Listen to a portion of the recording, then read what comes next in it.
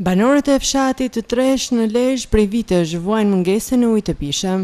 Punimet për ujësjellësin e ri vijojnë, por ende nuk kanë përfunduar, çka ka vënë në vështirësi banorët, sidomos në këto temperatura të larta. Ata kërkojnë zgjidhjen e këtij problemi dhe furnizimin me ujë. Në peshë, dhimbshta, tu vuan rrallë mramjet. Sa vështirë është për ju? Vështirë? Si sa vështirë më? Me lagje. Tanë kjo lagje, me shtatë pika uju.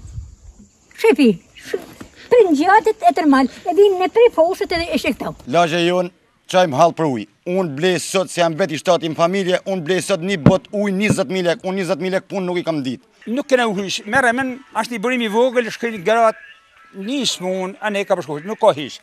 Dhe s'ka asnji pikë, Tash pesëmbëdhjetë vjet s'ka asi send. Dhe depo është bë 2 kilometra ma andej. Janë 2 kilometra, ku është depo, s'ka. Tash ne s'kena ujë. Si ka mundësi, ka një vit dhe s'ka ujë. Pse s'ka? Hiç, asnji shenjë. Tu është gjithçka cop cop. Ça të thashë edhe asht parësore. Më se 31 vjet demokraci pa ujë. Po edhe kjo se bojnë namin vijnë të thotë, asht vu ndonji tabelë atje, ka do, ta, do data, përcaktimi, merr mund shteti afate kohore është në, po në kitë vapë, kitë pikën e kulmit zhegut, të jetë populli pa ujë, tanë skandale.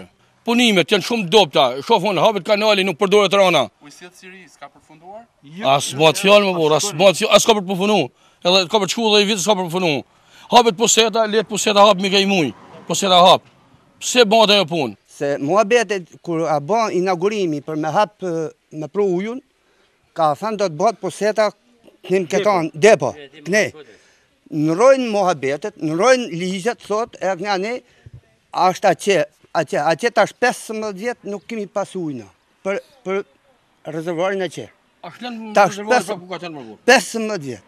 Pra, derisa 15 vjet nuk kemi ujë, Pse s'e ndërton rezervarin këtu me na pru ujë në lagje si kemi lagjen këtu?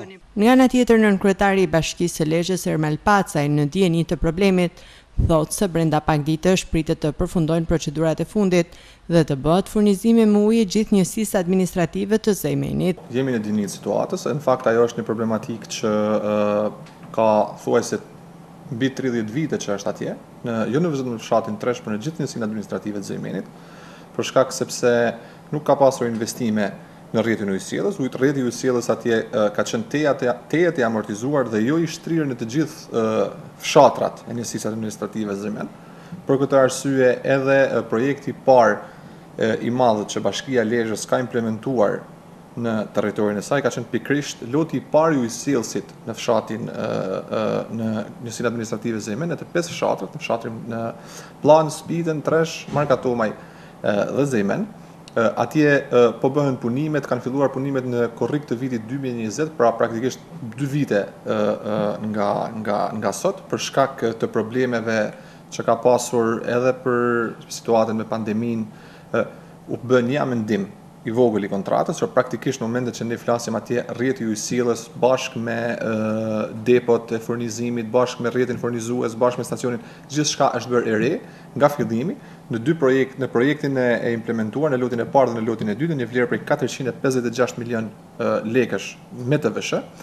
Atje praktikisht gjithçka ka përfunduar, rrjeti është gati për t'u vënë në punë. Kemi vetëm një problematikë të vogël në fakt që nuk lidhet drejtpërsëdrejti me bashkinë Lezhë apo me kontraktorin, është problemi i energjisë elektrike.